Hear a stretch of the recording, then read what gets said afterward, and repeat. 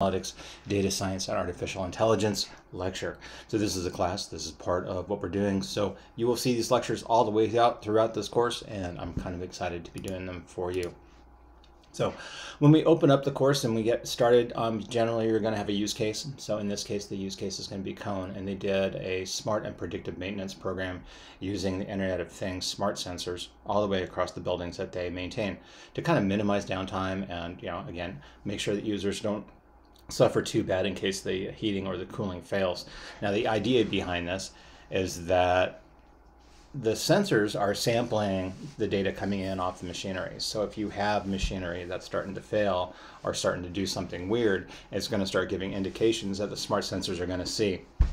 That can be sent back to a central database or to a central data system and parsed out so that you end up having an air condition that gets highlighted, gets flagged, and then gets sent up to someone to take a look at. Or the machine itself can go, oh, this is really common. That compressor's about to go down. You can see, you can tell um, it's sucking too much voltage, or it's doing something weird with the voltage, or it's doing something weird with how it performs.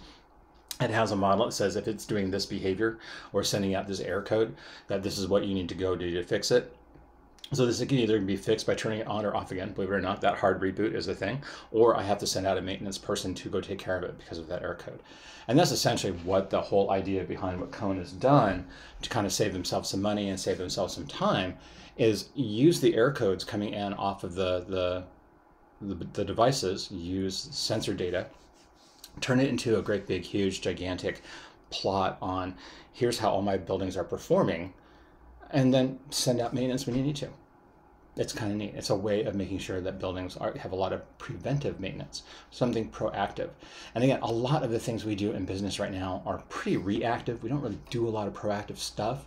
So when you get someone actually working on proactive, you start realizing how much money you can save. Not only how much money you can save, but how much time you can save, and really focusing on the critical things. So we're changing our business environments and evolving needs for decision support and analytics. We are just at the beginning of this. This whole process over the next 20, 30 years is going to fundamentally alter how we run companies. And again, our company automation is going to get to be more and more important because more and more of our decisions are going to be based on bigger and bigger pools of data. And with you being here, you're learning about how is this all going to work that we're still in the baby infancy steps of all this. This is only years old. It's not that old, but we're going to be making big bet, high risk decisions based on data. And that data that you guys are going to be generating and you're going to be working with and you're going to be using to make those are going to cross cut across divisions, are going to cross cut across organizations, may actually cross cut across entire business lines. Now, there are other things that you're going to do that are kind of repetitive but high risk, you know, things like budget or things like product, things like product build, things like product turn off. So we're going to stop building this product because it no longer has um, the ability to make money, or we're going to turn that product over to a generic manufacturer because that's how that works. But you can do high risk um, repetitive work. You can do high risk um, decision making that requires group work. You can make ad hoc decisions that are arise periodically. You may have a product that was really popular five years ago, got featured in a movie five years later, and all of a sudden that product is super hot again. Well, given that hockey stick of how we do business, right? That initial peak is where we sell most of our product, and then you have the rest of it, the long tail, right? You may have that second peak in there because it showed up in popular culture you, know, you may not be prepared for that. But if you know something's coming along for a movie and you can get a feel for the idea of how popular that movie is going to be based on how popular other movies have been with those actors and that director and that um, process. So, like we know the Marvel movies are always popular. We know that Game of Thrones was wildly popular and had a big peak, almost to the point where they were making their own little follow-off products. So you had Game of Thrones initial peak, and then you had going into long tail. Then you had Game of Thrones the movie, TV series. And you had another huge peak. We sold more books, we sold more associated products, we sold more cosplay costumes, we sold more books, we sold more product. And that's where those ad hoc decisions can come in. You can increase manufacturing, or you can increase digital delivery, or you can scale your systems based around special events on that second peak and go into a different long tail. So it's kind of neat how that will work, but you'll have all the data there. You just have to understand how to carve that data out so you can make better decisions about how it works. Then you've got some delegated decisions to individuals or small groups. These may be people that are working on small subsets. You may be working on a marketing plan.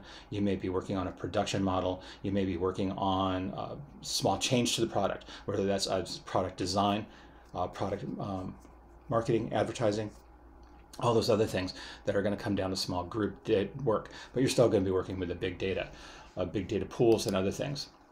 So there are two ways of taking a look at decision-making process. And I know this sounds kind of weird that we're actually talking about how do humans make decisions because we want our computers to make decisions the same way humans do. So there's two different processes here, one by Quain and one that's covered in the book. So we have a four-step process or a seven-step process, and we'll kind of go through each one of these as we kind of go through this. All right, so your four-step process is define the problem, i.e., a decision, a situation that may deal with some difficulty or an opportunity, right? A challenge or an opportunity. And you'll hear this in business all the time. It's a challenge or it's an opportunity. If it's a challenge, it's generally more fun because you got to fix something that's broken. If it's an opportunity, it's equally as fun because now you get to go do something really cool, increase visibility, brand, market, whatever, to get through that opportunity. Now you need to construct a model that describes that real world problem we have biases, right? Surprisingly enough, everyone has biases. I have biases. When you're doing research, and one of the things, especially at the doctoral level, you are looking at biases, implicit, explicit biases as you kind of go through, and you can build those into your model, and you don't want to. So you want to try to construct as neutral model that describes the real world problem with as little bias as possible, and that is a really hard thing to do right? And it's just because we have them, all right? It's not that big a deal. As long as you know you have them, you can make your model either too optimistic or too pessimistic. If your general outlook on life is generally optimistic, then your model will reflect that optimistic outlook. If you're generally pessimistic, your model will reflect that as well. So you want to kind of balance all that. You may want to have more than one person working on the model to make sure you get a good neutral tone across that. That is really more factual based in some models, if you have check marks, if you have marker points that you can, if you're trying to predict future behavior, if you have marker points on when someone did a thing based on a previous marketing or ad campaign or a previous product launch or something else, you can try to match your model to those previous points to increase accuracy of your model. You want to identify any possible solutions to the model problem and evaluate the solutions. And again, that's going back and checking your checkpoints in the past, trying to figure out how close the future predictions are to being realistic. Right? So if you have like something weird, if 1% probability of something weird happening, that's still 1% probability. One out of a 100, something could happen, but is it a realistic issue? And then the human will come in, compare, choose, and recommend a potential solution to the problem. Now, the machine can do this as well, but this is where human and machine interface come in, right? Is the data good? Does the human trust the, the data? That's the other big one. Do we trust the data that we're looking at to be representative of reality, as far as I understand reality, and recommend that potential solution to the problem? Does the human looking at the data have a bias that we need to worry about, right? So lots of interesting things that go along into that decision making process. Humans are really interesting when it comes to how we work and you get into some psychology when you get into big data. So it's kind of neat. Now, Quain has a seven step process.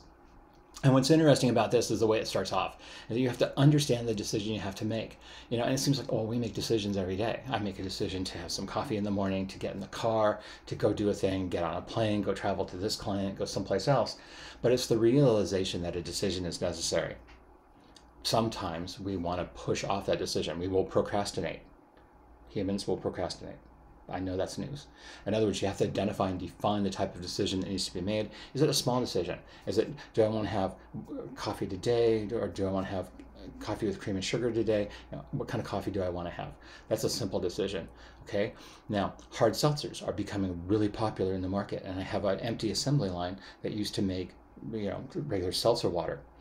Easy enough to convert over, and maybe I can make a specialized brand uh, for a city, keep that plant running have a city branded type of, of hard seltzer and maybe get it into the local bars.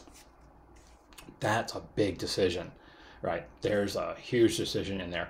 Sounds really, really good. I can repurpose a plant. I can save some jobs. I can get something really, really cool for my town or for my city. I can maybe get it locally branded, maybe get some support from the Chamber of Commerce, from City Hall, maybe get some tax cuts. You know, there's a whole lot of things that go into that, making that decision. You don't just thumbs up and say, this sounds good. You have to collect all the information. You have to do that when you're doing this process. And then you need to identify all the alternatives, right? Well, well, maybe a hard seltzer is a thing, maybe a seltzer water, maybe a bottled water, maybe something else, some other product, right? Branded for a local town.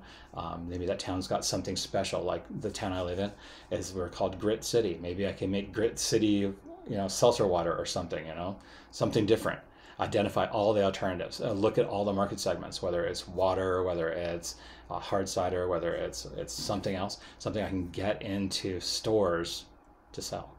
And then I want to evaluate the pros and cons. So maybe I don't have a real good way of getting product out. Maybe that product is just isn't pulling well in marketing. Maybe I need a better better marketing campaign. Maybe I need to work closer with the city. You know, again, evaluate your pros and cons. Is this really a way I can make money? Um, is it going to be too much to try to open up that, that bottling line? Is it going to be too much to try to hire people back? Did I already fire people? You know, honestly, you've got to take a look at all the pros and cons for what you're doing and then select the best alternative. And then finally make the decision. This is what we're going to do. We're going to make bottled water for our city that's branded, and then we're going to try to get it into all the local shops because, hey, it's Grit City water. And that sounds really weird, doesn't it? You know, like have a little logo on it, maybe some like octopus kind of looking thing, because that's our other city city logo is a little octopus. You know, we have a paper pulp, paper mill processor here in town. This is really kind of neat. So maybe we can get that and do it that way. Maybe we can tie that octopus into our local hockey team, the Seattle Kraken, right? So again, making the decision, I've kind of figured it out, and then I want to go back and evaluate the impact of your decision. How much did it cost? Can I make money on it? What's my return on investment? What does marketing look like? What do all these other things look like? And, and impact. Did I help my town? Did I help my city? Did I help my people? Did I help my factory? Right? All these other things. And then a bonus step, right? So the eighth step on this is alter your decision as necessary over time seriously and this is one of the things that they don't talk about in a lot of ways is actually going back and evaluating whether your decision was good bad or ugly right? You will make good decisions, you will make bad decisions, and you will make really horrendous decisions. The question is, how do you recover from them to try to turn them all into good decisions? Right, so not everything you do is going to be a good decision. You will have bad decisions. You'll make you'll miss it just by a little bit, or sometimes you'll miss it by a lot. Don't be afraid of those just go ahead and step in and change your decision over time. So maybe uh, water wasn't quite the thing we wanted to do. Maybe we wanted to go more for something we can get into into bars and into other things. Maybe we needed to sponsor uh, uh, part of the, the July 4th celebrations here in town. You know, maybe I didn't do something. Maybe I did do a thing.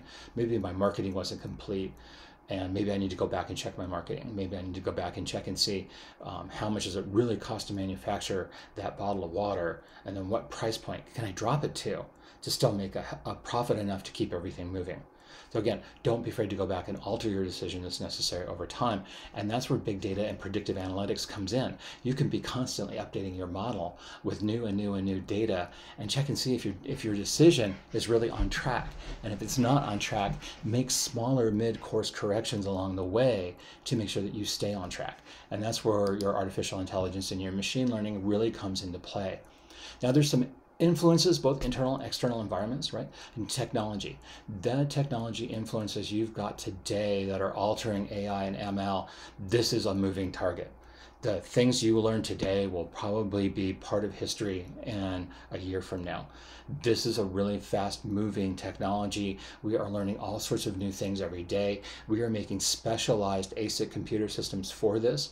Google has made something called TensorFlow, which is both a process and a special designed computer system for machine language and building models. All that technology is really fastly moving.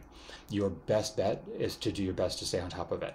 The other part of it is that you've got some really interesting government things going along the way here. You've got political, economic, sociological, um, psychological, and environmental you've got more than one thing going on. Now, part of us, because of the era that we were growing up in, right? If you were a part of anything that had to do with the 1980s and early 1990s, you probably read something called cyberpunk, right? So you probably read William Gibson, you probably read Ian McDonaldson or others, right? That kind of talked about this whole new world of technology and how we use big data to define corporations. You had the big evil computer, you know, we had Tron as a movie interestingly enough, it's about big data, right? Honestly, it really is. You have political things that are going on. How do we use big data? You have arguments in the United States Congress and the Senate yesterday about how big tech is treating data about kids and how we're targeting advertising towards kids.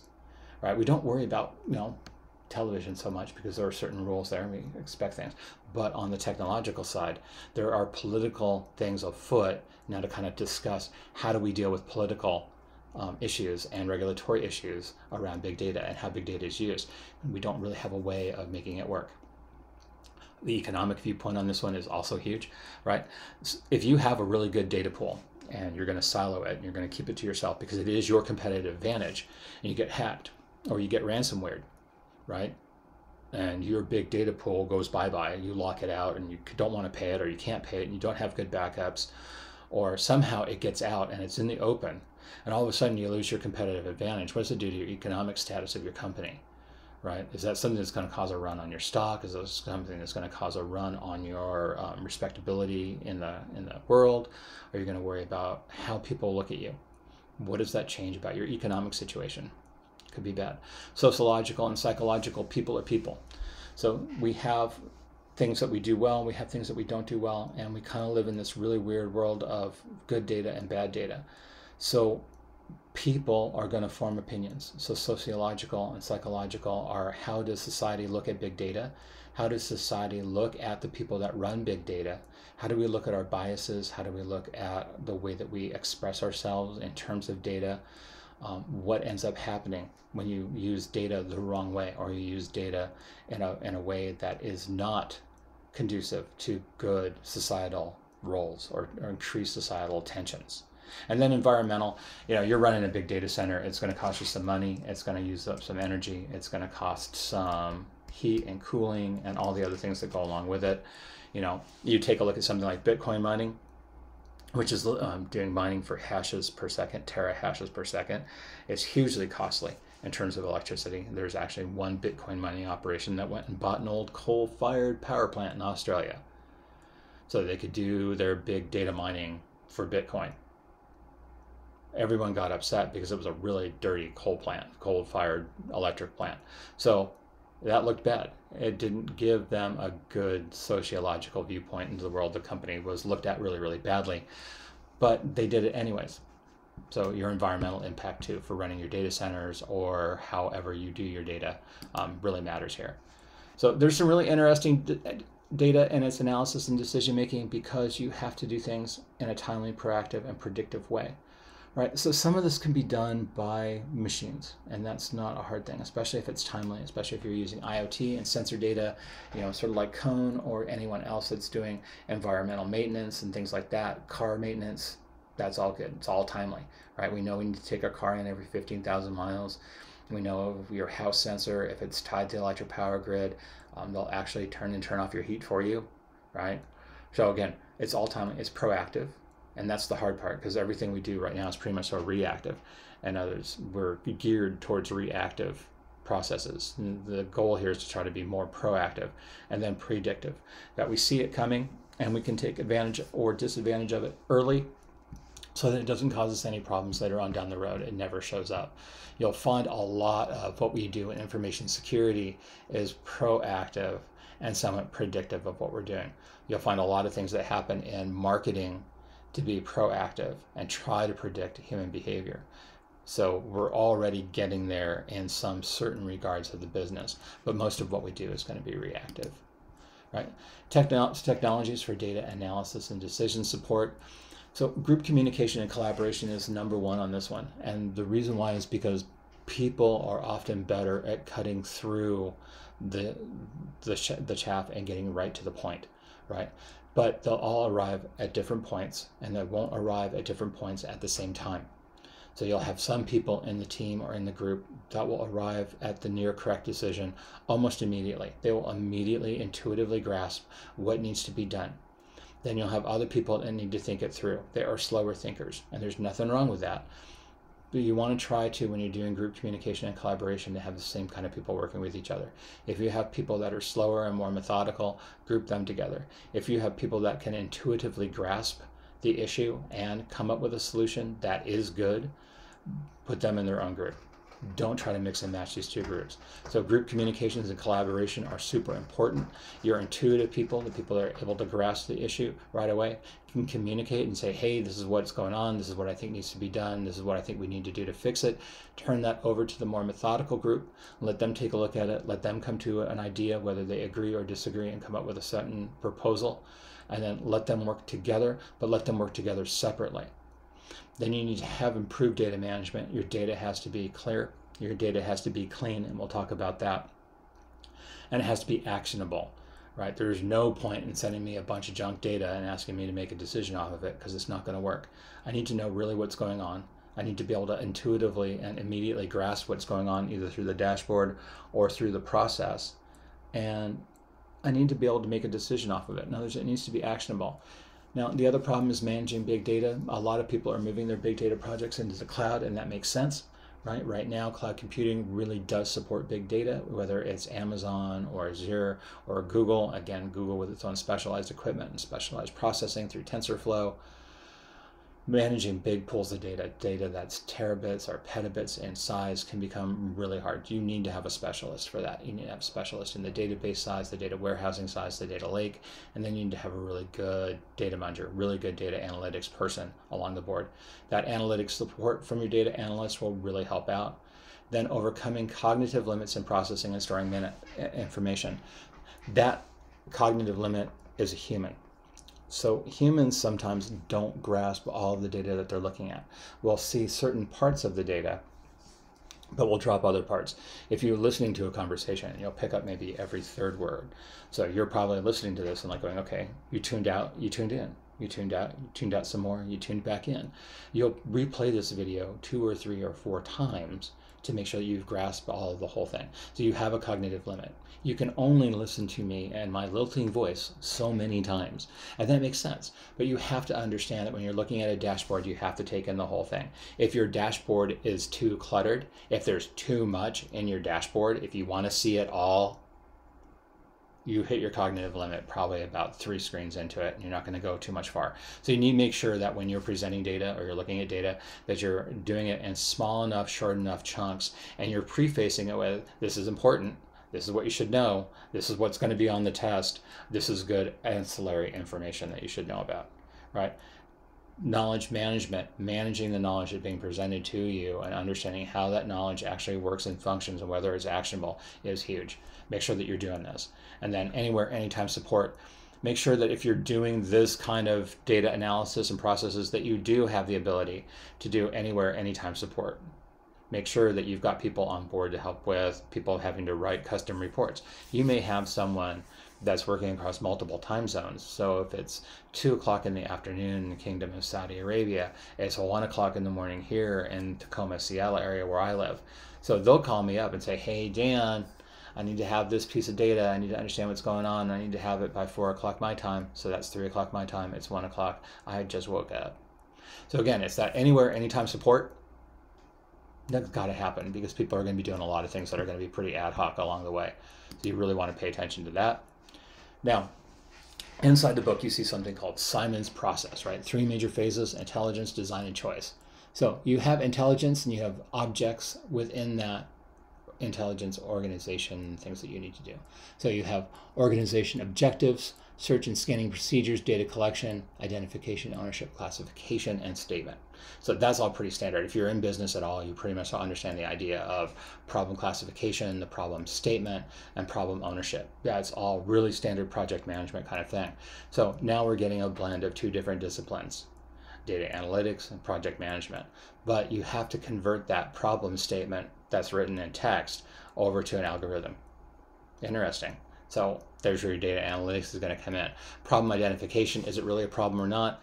And then where's my data? Where do I go and find all my data? Is it a data lake already or do I need to get a new source of data? What is that data going to look like? Is it clean? And then how do I search and scan that data collection for that?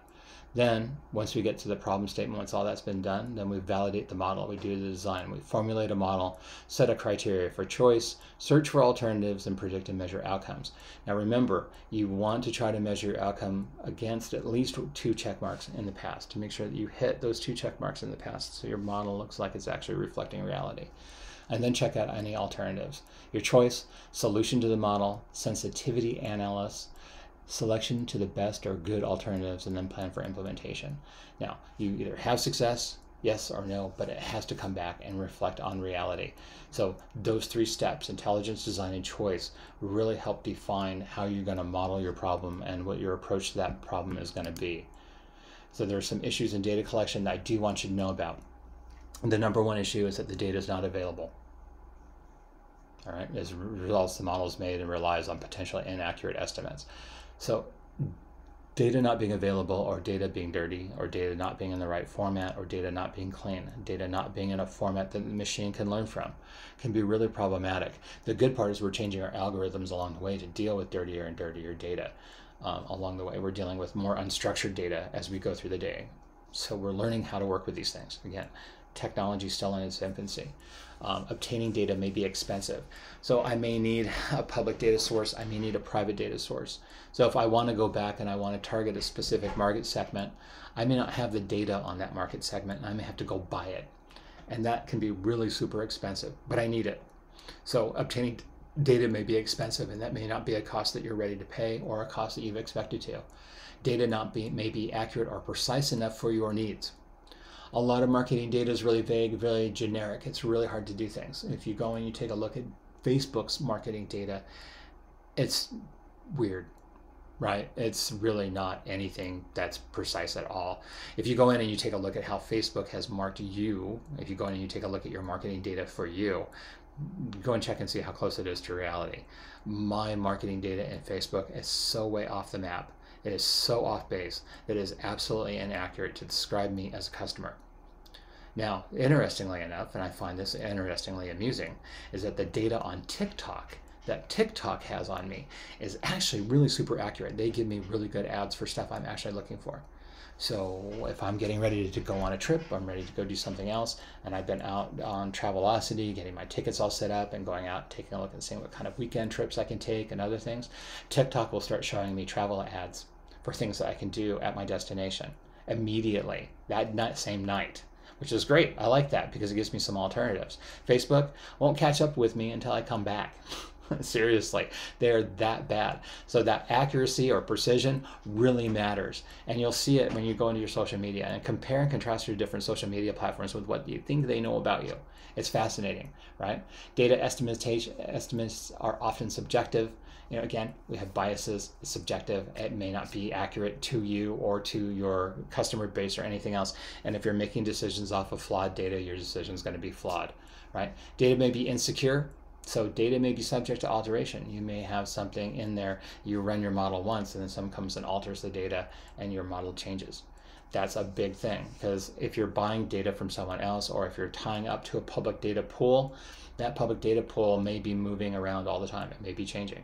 Important data that influences the result may be qualitative and it is soft. So quantitative is actually pretty easy. It's data, it's, it's numbers, it's physical fact.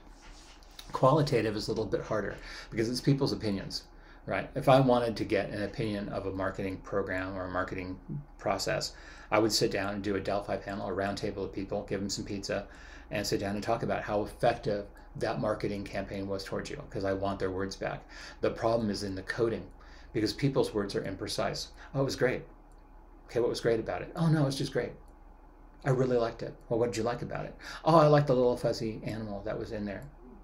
I don't remember a fuzzy animal in the ad campaign at all.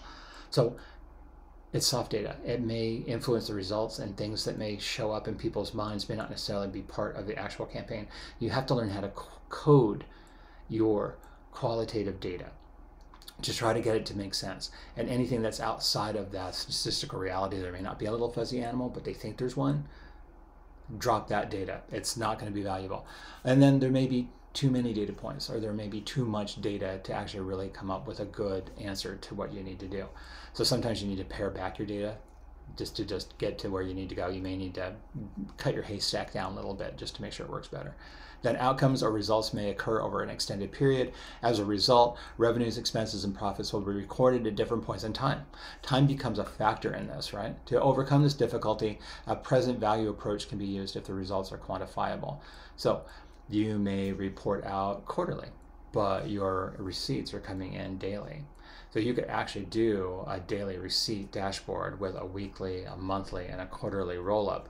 And then that quarterly is what you're using for your reporting out, right? You may have KPIs, but your expenses may come out monthly. So you're bringing in money daily and you think you're doing really, really good, but then your expenses go out on the last day of the month and you find out you take a really big hit to your profit. Management's going to be like, oh, well, what, what happened to all that money? what did you spend it on? And you're going to be, well, that's just my normal monthly bill. And that's the problem because management might not understand how time, revenue, expenses, and profits will be recorded at different points in time. They may just want to see the profit statement on the fifth day of the month. So it depends on your management. So it's assumed that future data will be similar to historical data, but that's not always the case. All right. So sometimes and we are really famous for this. We're going to change the data format, right? We're going to change the way the database works. We're going to change the way the table is actually built. We're going to change our indexes.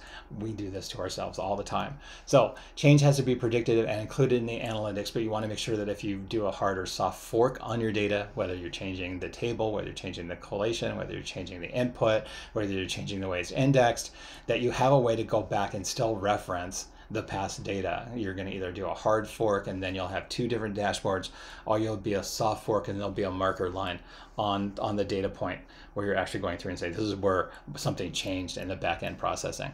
Um, people are really good at that. We do that all the time because in sake of efficiency, right? We're never going to leave something alone and think it's good enough. So your problem design, choice, and implementation phases. The problem, again, we're going to classify, take it down, break it down into smaller chunks, and we're going to decide who owners who owns it. Our design, our models, how do we want to do our models, check for bias, make sure that, that there is as little implicit and explicit bias as possible, choice, implementation, and then the feedback phase where we're going through and making sure that everything works the way that we want it to work. Now, our decision support system framework, this is really kind of neat. You'll find this in the book. Degree of structuredness, types of control, decision support metrics, and then computer support for structured, unstructured, and semi-structured decisions. So this is really just kind of how you want to take a look at how your data is actually done. So a structured um, data can give you some really good operational control because you're monitoring accounts receivable. It's real money. It's a real number. It's nothing about it is subjective, right? Semi-structured scheduling, production, um, can be problematic. People go on vacation, people get sick, people come, people go, production line may fail, um, part may go out, controlling inventory, you can't predict yet on how many people are going to really want X widget at Y location. And then unstructured, you know, I'm going to buy software every now and then as needed, when needed. So that's really kind of very unstructured. Approving loans, depends, right? Operating a help desk, well, some days will be more busy than others. 8 a.m., people logging in on Monday is always going to be the busiest time. Friday afternoon at 1 o'clock is also going to be your second busiest time because people are trying to get out for the weekend. And if they start having problems, they'll just pick up the help desk and call. So, depending on what you've got and how it's working, understanding this type of control and type of decision making process is really going to help you when you start doing um, machine learning, AI, and big data processes along the way. So decision support systems are another big part of it. And there are a number of steps and characteristics and capabilities of decision support systems. Now, you're using someone else's software. You're using something either you built or something that someone else built for you. When you're doing a decision support software, it can be something like Cognos. It can be something you built in Tableau. It can be something you built in Power BI. It can be something that you bought that ties into all of these other systems, right? Cognos, Tableau, Power BI, whatever. So there are 14 things you need to know about characteristics, right? One, provide support for semi-structured and unstructured problems. And this is really big because your data is going to come structured, unstructured, and semi-structured. You want to make sure you can take in any data source into your data lake. Supports managers at all levels. And this is important. If you have something at the production level and your production line and your manager of the production floor needs to understand how all the machines are working and make sure that all the machines are doing what they need to do and make sure that all the people are doing what they need to do with the machines. And if there's a problem at that level, that it's flagged, noted, and that person is notified and that person can go take care of the problem. Managers need to know how much outage time there is on the production line what issues are being shown on the production line, how much product's coming in and going out. So your data at various levels is going to be different. And you want to make sure your dashboards, or your data presentation is different for each person at whatever level they need to have to do their job right supports individuals and groups so there may be some team things there may be some individual things whether it's production floor or production group or a marketing group or something else make sure that your information can support however the company is structured for that project right supports interdependent or sequential decisions and that's going to be something that's going to happen all the time if a then b then c if a or b or c you're going to go through that sequential decision making process and maybe do some scenario planning along the way. Supports intelligence, design choice, and implementation, all the, all the decisions that need to be made for that project. Support a variety of decision processes and styles. And remember, leadership is situational, so is decision making. So we're going to have all the things that we do making decisions all the time and how we alter them and how they go about things. So supporting a variety of decision processes and styles, is really important because people are individualistic. Is adaptable and flexible, that goes along with point six. Provides interactivity and ease of use. So I can carve out some data on my own, so I can be interactive. I can scenario plan. I can drag and drop some things around. I can maybe move a slider left and back. It's really easy to use. Um, get a good UI UX person in there. Make sure that they make really effective dashboards improves effectiveness and efficiency, and others I can make better decisions because I have this data. If the data is not helping you make better decisions, then you don't need that data, or it's not being presented correctly, or something else is going on. Right? Provides a complete human control of the process. So in other words, humans can go in and overstep, check, make sure everything works at each step, and make sure that the data and the presentation is as free of bias as possible at every step in the process provides ease of development by end users. Again, with Cognos and things like that, you use the API or you have a report writer. Salesforce.com has a report generation system, so really kind of neat if you've ever worked in any of those systems. Tableau and Power BI, same thing. So make sure that when you're doing development, that it's at least something that's easy enough to use that you're not having to ramp up super huge.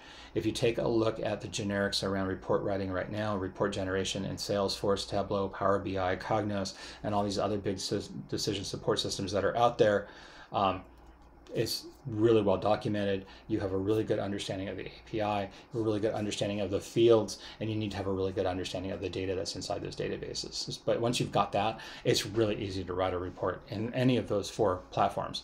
Provides models and analysis. There'll be some pre-canned reports, pre-canned models, uh, way to analyze data and all the rest of it. But you may have to go back and train a new model. So production previous mo models and analysis are still there. We can use them, but again, we're going to be retraining our model all the time depending on where we're at in our machine learning process. Provides data access. If I need to, I can get right to the raw data. Right, there may be something in there that catches my attention from a security viewpoint, like why did this happen at this time, and why does this keep on happening at 1:32 in the morning? What is it about this blip? Right? I need to go into the data. I need to actually see that point in the data. So give me data access because I'm going to want that. And then can be standalone, integrated, or web-based. Right? Can be standalone on its own system doing its own thing, integrated with all the other sensors and all the other data inputs that we've got going on, and parsed and done, and in my data lake, whether that's in the cloud or local. And then I want a web-based tool. So I want either a dashboard in SharePoint or just a tool out there on the web, something interactive, something I can move things around with, right? Web-based tools really help because then I can also put them on my mobile phone, right? If I have access to that web page, I can put it on my mobile phone and I can be in the middle of the field doing what I need to do, taking a look at really cool stuff, and still being supportive of the people back at home, being supportive of the people in the field, and making good decisions at the same time because I need to. So decision support systems have all of these 14 points, and you really do want to pay attention to them. So components of a decision support system, again, is the data management subsystem. And this is just basically, what do you need? Where are you? So you've got other computer-based systems, you've got internet, intranet, and extranet, you've got data points, databases, you may be doing something with um, ERP, uh, points of sale, legacy data, web data, and so you're going to have data management, your model, external models, and then just basically how do you get it down to the manager, the user, through the user interface, and then the organizational knowledge base that you have. Every organization has some kind of KM going on right now where either that's help desk or whether that's project or whether that's SharePoint or something else as part of project knowledge bases, which is a big part of how we do management because projects are a really interesting viewpoint into how well the company works. And if you have lessons learned documents from your projects, that can all go into an organizational knowledge base to make the organization more efficient, more effective. In your model management subsystem, you have your model base, your model base, your modeling language, your model directory, your model execution, integration, and command processor. Pretty straightforward on that one. And in your user interface subsystem, you have your natural language input. Show me all the things that were sold between January 1st and January 30th, 2021. Right, that's a natural language input. So examples, uh, price, look up the 64 gig iPhone X. Currency conversion, what is 10 US dollars in euros or Saudi riyals? Right? Sports scores, game times, you know, what is the weather for 98040? What is the Doppler radar looking like today? Um, how do I make a decision, right? All those things are going to be really clear, natural language, how we speak every day. And you really want that on your user interface subsystem. Now, the cool part is there's actual now native language preprocessors. Um, you have things like Siri now and other that will help you with that natural language input. So there's a lot of already predefined models for natural language parsing that are out there you can integrate into your big data model. Really super easy and it's super cool. Knowledge-based system management. Really good. Knowledge-based management subsystem. Support any of the other subsystems or act as an independent component, right? So it provides intelligence to augment the decision maker's own um, decision or to help understand a user's query to provide a more consistent answer. And again, that's just something that we work with. Every system's got a knowledge base management somewhere. There is some kind of KM system in most companies. So you can use that to kind of balance out your decision making process by using uh, past data or legacy data or just data that we know already works within the organization. So what's kind of interesting though is that there's actually an evolution here for decision support systems. And right now we are in the automation phase of this in the 2020s. So way back in the day in the 1970s, decision support systems again were pretty primitive. Computers were pretty primitive. You had G, GEIS 1000s or PDP 1170s. Um, you had really early prototype AI expert systems, but wow, we really didn't understand how to program these things. We thought it was going to be easy, and it ended up being really, really hard. So we went to more routine reporting. You went to the data center, you said, I need X, and then the next day you'd come and you'd pick up a big pile of 132 column green white paper. And it was ugly right? Now we moved into the 80s. We started getting into more of your PCs. You started getting into other things along the way, bigger, bigger, better server models. You started getting into um, Windows. We started getting into Solaris. We started getting into some really interesting operating systems along the way for Linux and Unix and all the other things. We really exploded out what we're going to do. We started building relational database systems. We started building on-demand static reporting. How many people back in the day remember things like um, Access, Microsoft Access. We used Access for a lot of our reporting functions, right? In the 1990s, we've got started some really prototype data warehousing, started some dashboards and scorecards were really popular. Executive information systems, which are still pretty primitive, but at least help make better decisions, right? And then as we got into the 2000s, 2010s, and 2020s, everything started exploding. We started doing a lot better stuff. We started bringing in cloud computing, came in in 2009, right? We started really working with it big time you know, cloud computing actually started back in 2007, 2006 um, with Google and with Amazon. So social networks, media analytics, in-memory databases, you started getting into Memcache, Elasticache, things that would speed up your, your data pulls. Um, you could actually keep common queries in memory. Computer systems started becoming more and more and more capable and the cloud really blew out the things that you could do. And right now we're into cloud-based smart decision making systems, AI, deep learning uh, from uh, the Internet of Things sensors, either that's through um, environmental to production to um, power to product delivery to pipelines to ships to containers, you name it, everything's got a sensor on it. Automated analytics, um, and now you're seeing things like blockchain starting to come into play to make sure that all the stuff works from the FDA's actually implemented and recommended an entire blockchain solution that relies on automated analytics, IoT, and sensors. So there's a big difference between where we were back in the day to where we are now. And it's just going to keep on getting more and more exciting and more and more interesting because it really is a huge, gigantic Lego set, but it's a Lego set that has to help and support a company make better decisions, get their product to marketing better. So Framework of business intelligence, doing our business thing, definitions of BI, the history of BI, and the architecture. Right, so as you kind of take a look at the graphics, you can kind of see that we have a data warehouse environment, a business analytics environment, and then a performance and a strategy. So our performance and strategy really does kind of focus back on the business analytics environment, but our data warehouse is where we're getting all of our data resources. So that analytics environment is really where we're starting to carve out how do we present things to management. So again, it's that whole idea of the user interface, the dashboards, the information that we're giving to people, whether it's going to be prefixed, pre-canned data, right, as a dashboard, or we're going to let them do ad hoc queries, or whether we're going to accelerate some of our data by using some kind of caching method, whether that's Memcache, Elasticache, or DAX, depending on what the data looks like, whether it's structured, unstructured, relational, or non-relational. There are a lot of things that go into that technical staff data warehouse environment, and then the business analytics environment that's going to run on top of it. The more you know about how that works, the more effective you're going to be in working on this job or even just using the system itself. So data warehouses are the foundation of business intelligence. So there's transaction processing versus analytic processing. You know, there's different kinds of processing. It could be batch, it could be data text, it could be all just regular things that people are doing on the internet. It could be your service logs, it can be your router logs, it can be your SSH logs.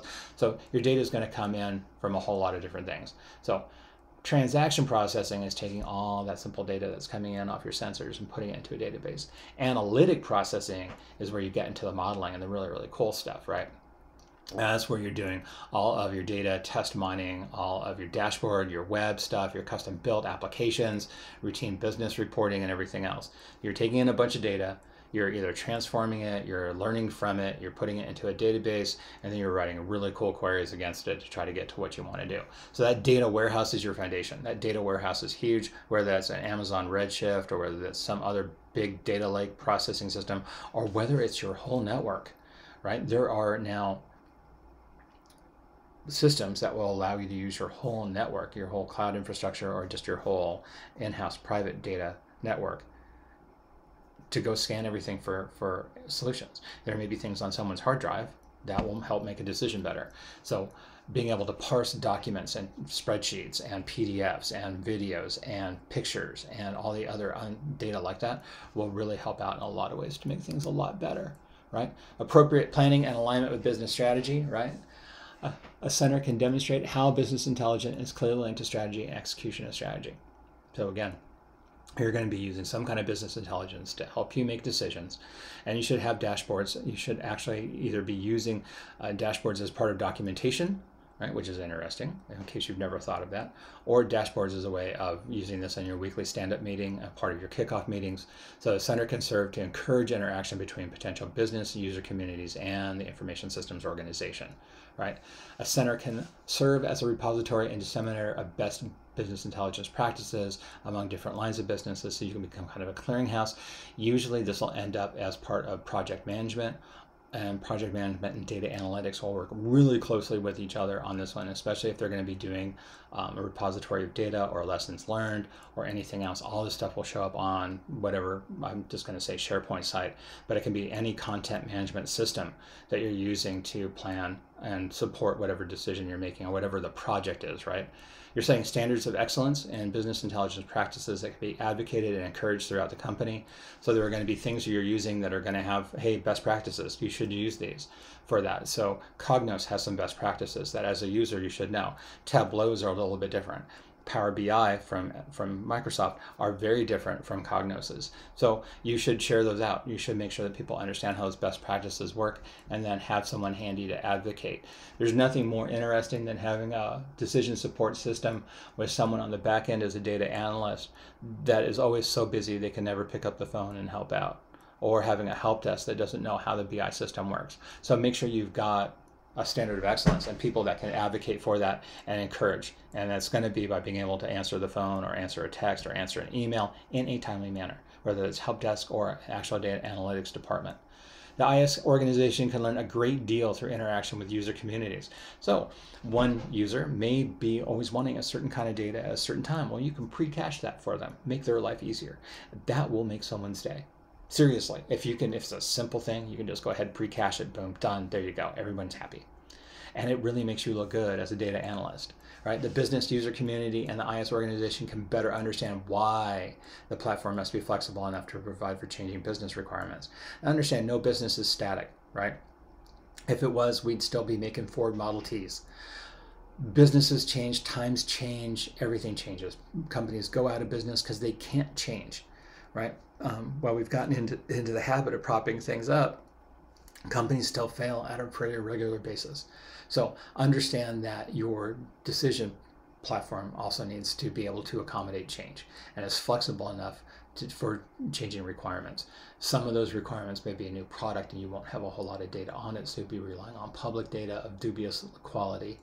So kind of think about how you're going to manage all that in the process. And then your center can help important stakeholders like CS high level executives, the CXO suite play an important role in terms of how that manager makes decisions and what decisions they need to make and what the process looks like. So analytics, the process of developing actionable decisions or recommendations for actions based on insights generated from historical data. So that's the big word right there, actionable, right? Make sure that it's not just, oh, this is really cool. That's nice. This is a great story. No, oh, so this is the decision that we made in the past. Well, how did that work out? Well, if it wasn't a good decision, if it was a bad or an ugly decision, well, let's change that around a little bit, right? So we're going to describe something, we're going to predict something, and then we're going to be prescriptive about what we should do with it, right? So descriptive is I opened up a new product line. I'm making Grit City water, and I'm going to label it with a with a with an octopus because those things fit my town, right? That's what I did. Right, it was really cool. I really liked it. Now, predictive, what will happen? Well, I'm hoping that it will sell because water sells really, really well, especially at certain events. So we'll try to get it into the stadium. We'll try to get it into all the city sponsored events. We'll try to get it into all the touristy stores. We'll try to get it into the regular grocery stores because grocery stores like helping out local things. So, why did it happen? When will it happen? How did it work? Did it really work? Right? And then prescriptive. What should I do? Well, I need to go contact all my grocery stores. I need to contact these people. Why should I do it? Because I want to sell more product, right? So your prescriptive part on this is what are the steps I need to take after that. So I can go back and say, well, I worked with this grocery store and it's worked really, really well. So I want to work with that grocery store some more. But I worked with this tourist store and it didn't really work. Right? They didn't order a whole bunch. They bought one case. They really didn't try to push it. They didn't really try to sell it. It took them six months to sell 24 bottles of, of Grit City water probably won't go back to them. So again, prescriptive. Who's selling more of my product for me? Who's doing me a better turn on the market? So your business analytics can really help you understand how your product works per segment and sometimes down to the individual store who's ordering more. And then how did that product sell inside that store? So you've heard me refer to everything throughout this lecture as big data. Big data refers to the data that cannot be stored in a single storage unit. And again, it's usually something that's on a big, huge honking database, a data warehouse, or something that's distributed across the entire corporate network. You will hear me use big data interchangeability with data lake, data pool, data process, warehousing. To me, yeah. So just so you all know, you're going to hear me use that same word all the way across the board for all this stuff. So Analytics examples and selected domains. I really kind of like this one, right? Sports. How many of us play fantasy football or fantasy basketball, right? We're all trying to predict who's going to be the best quarterback and who's going to be the best linebacker and who's going to be the best tight end and who's going to be the best cornerback and who's going to be blah blah blah right who's going to be the best center right all the rest of it so sports is really kind of interesting because you can actually make some really interesting predictive pools in the cloud and then use that for your fantasy football league or fantasy ba- basketball league or your fantasy baseball league. It's kind of interesting. 538, I know they do politics, but they also do a lot of sports analytics. Really fascinating what they do on the predictive things, right? Business office, that one's pretty straightforward. We've been talking about that all day. Healthcare. Now, this one's even more interesting because you can actually predict by populations, right? If you see a big spike in measles in one population, you can actually go back and check and see if they've had their, their vaccine or they didn't have vaccine or where did people come from? Did they come from a country? Uh, what was the travel patterns in and out look like? What are the travel patterns for people coming in from countries that are known to have measles? You know, healthcare can be really good from that big social construct, right? Of how do we track disease pro- progression through a community, and then you can break that down, and you can actually send that to doctors in specific zip codes and say, okay, you're seeing an increase in this kind of disease, you're seeing a decrease in that. Oh, this is a cancer hotspot. Really important. You can do really good work there and then retail value chain again to going into grocery stores, going into other kinds of stores, trying to sell my Grit City water with my octopus logo. Artificial intelligence is really kind of neat because it's based on theories from several scientific fields and it's really a big science fiction kind of thing still, right? So the major goal of AI is to create intelligent machines that can do tasks currently done by people the hard part we're having right now is people are unpredictable. So it really makes it kind of interesting and in trying to get people and machines to do reasoning, thinking, learning, and problem solving when we don't even know how we do it ourselves. Right? We don't know how people work. We don't know how people think. We don't know how people learn. We have a lot of learning theories on adult learners versus child learning versus baby learning versus as you learn all the way through progression on age. Where do we want to lock the AI into? And then how do we solve problems? Right? Again, some people have an intuitive grasp of the problem. They will immediately see the correct answer. They will do the logic jump. They will go and they will have the best answer to whatever the problem is, and they will do it all in a few seconds. You will have others that are more more slow, more methodical, and take a lot longer time to come to the same conclusion as someone who will all just jump in. So artificial intelligence can be kind of interesting because we still don't know all the answers. We still don't know how we work. So there's a significant reduction in the cost of performing work, right? Especially if it's something that's repeatable, sustainable, um, something that has to do with manufacturing, something that can be broken down into repeatable, processable steps, really works well here, right? Especially manual work. You know, that's why you're seeing a lot of your factories and a lot of production lines going to AI controlled manufacturing lines. You see a lot of that in Tesla. You see an awful that, a lot of that with the Ford F 150 electric vehicle, right? The amount of automation that's going on in there that's run by AI, testing every component before it goes into the car is actually really kind of interesting work can be performed way faster than a human can, right? Because it's not going to get bored. It's not going to get distracted. It's not going to wander. It's not going to have a Monday morning or a Friday afternoon. Monday morning dragging in, oh, I don't want to go to work. Friday afternoon, oh, I need to get out of here because it's about party, it's weekend, yay, right? Work is consistent in general, more consistent than human work because it's focused on one thing. And again, it's machine based, so it's just going to go do what it needs to go do. Increased productivity and profitability as well as competitive advantage are the major drivers of AI. We're seeing some very real solutions to this going on in things that we've been studying for the last hundred years. So you have been, uh, we have been as a culture, studying the assembly line for the last hundred years. We've broken things down into time sequencing, number of steps, and all the rest of it. All those things can be programmed really, really well. The problem with AI comes in when we're trying to make intuitive guesses. Will this product work in the market? Will we'll be able to jump into doing something else along the way? What does this creative logo look like? How should we create a logo? And we're working on that. We've got AI now that will actually do art. It's kind of weird, freaky art, but it's still art. So we're getting to that point now where we're getting AI to the point where it can start doing some of the more creative things that we do which is interesting that we're getting to that point now, um, and only within a short number of years. So there's some major AI technologies right now, both on knowledge-based and biometric-based technologies, but all of these have support theories, tools, and platforms and mechanisms that go into this. There are a lot of them, and we'll be covering them all the way through this class. So this is just kind of like know what's coming. There's a lot of different technologies out there. They're all knowledge-based or they're all biometric-based, and there's a lot of theories, tools, and platforms and mechanisms to support them right? There, what makes this even more interesting is when you start getting into the convergence of analytics and AI. So there's differences between it, right? But why not combine them, right? Because AI works faster than humans do, right? If you can do some kind of predictive modeling, AIs are really good at coming up with a predictive number of realistic probabilities based on statistics. It's math. As long as your data is coded correctly, right? And that's the big one right there. AI can actually spot some of the anomalies way quicker than a human being ever would. So AI-based analytics can really help spot the anomaly or spot the opportunity in the haystack. And it's a really good thing because it can do it as a, as a, as a statistical treatment of the data itself. So we have an entire analytics ecosystem in the middle of it is the analytics user and the organization, and that is getting pressure from regulators, policymakers, because it opens up some opportunities to do things with how people behave. So there's a lot of things we do we don't want people to know about, and sometimes big data will reveal those, like my browser history, um, or what I'm, or places I go, things I do, um, where I am physically located, my, graphic, my geographical information from my phone and other stuff. Um, those are all good things for regulators and policymakers.